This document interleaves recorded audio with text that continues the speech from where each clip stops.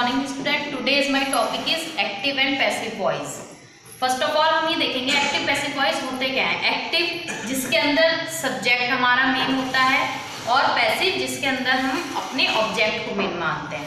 ये चेंज होता है आपका, मान लीजिए कोई सेंटेंस है, उसका सब्जेक्ट हमारा चेंज हो जाएगा ऑब्जेक्ट में और ऑब्जेक्ट हमारा चेंज हो जाएगा जब पैसिव वॉइस बनेगा हमारा सब्जेक्ट में।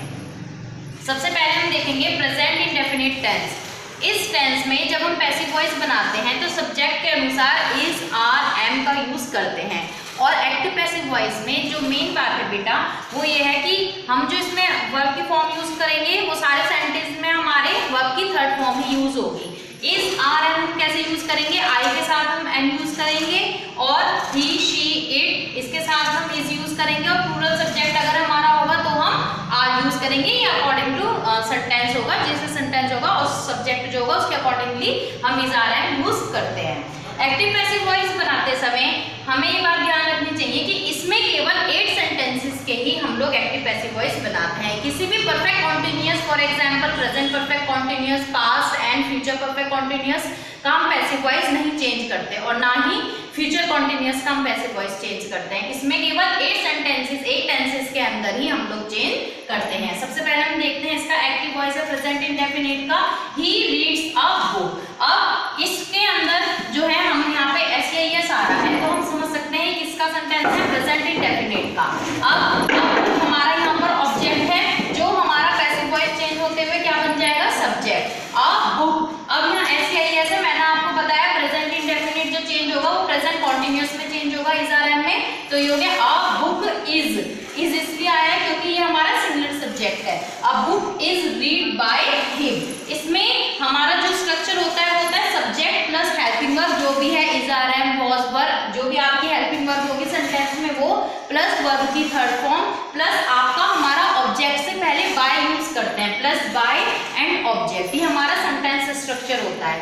अब इसके अंदर है नेगेटिव कैसे बनाएँगे? He does not play the match does not से आपको पता चल रहा है प्रेजेंट इंडेफिनिट है तो ये बनेगा द मैच क्योंकि ये सिंगुलर है तो इसी आएगा the match is not played by him next है डज अब इसका इंटरोगेटिव सेंटेंसेस कैसे बनते हैं? Does he write a book अब डज जैसे हमारा इंटरोगेटिव सेंटेंसेस स्टार्टिंग में आ रहा है, इसी तरह हमारे स्टार्टिंग में यहाँ पर क्या आ जाएगा? इज़ आ रहा है, हमें यूज़ करना होता है तो इज़ आएगा. Is a book written by him question अब टीचेस यू इंग्लिश हु वाले सेंटेंसेस जो होते हैं, इसे हम चेंज करते हैं हु वाले को बाय हुम में। हु टीचेस यू इंग्लिश ये आपका चेंज होगा by whom are you taught English by whom वाले में हम स्टार्टिंग में ही बाय हुम लगाते हैं, इसलिए हमारा ऑब्जेक्ट से पहले बाय हम नहीं लगाएँगे। एंड क्वेश्चन मार्क सेकंड है हमारा present continuous tense present continuous tense का जब हम पैसिव वॉइस बनाते हैं तो इस आर एम में बीइंग यूज़ करते हैं, क्योंकि कॉन्टिन्यूस में आता है। अब जैसे इसमें वर्ब की थर्ड फॉर्म मैंने आपको बताया इसमें यूज़ करेंगे। इसका स्ट्रक्चर जो होता है, वो होता है subject plus is are am plus being plus verb की third form plus by and plus object अब इसके सेंटेंसेस देखिए अभी कैसे चेंज होंगे?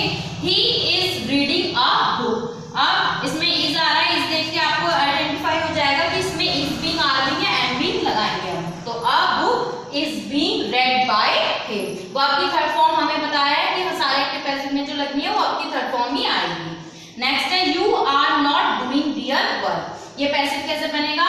This work is not being done by you are you helping me अब आर इसमें starting में आ गया तो इसमें जब हम बनाएँगे इसका पैसिव तो हम आर इसके अकॉर्डिंग जो है, पहले सब्जेक्ट यहाँ पर, जो ऑब्जेक्ट है उसके अकॉर्डिंग ही यहाँ पर चेंज करेंगे तो यहाँ पर मी है। मी का क्या चेंज होता है? आई तो यहाँ आ जाएगा। आई के साथ हम क्या लगाएँगे? एम तो इससे क्या आया एम आई अब सब्जेक्ट के बाद हमारा बींग आएगा am I being help by you question mark next है who is playing the match who मैंने आपको स्टार्ट वैल्यू बताया था इंडेफिनेट में हु हमारा चेंज होगा बाय हुम में? तो ये जाएगा by whom is the match by whom is the match be played question mark यहाँ पर आपका लास्ट में क्वेश्चन मार्क आएगा. Thank you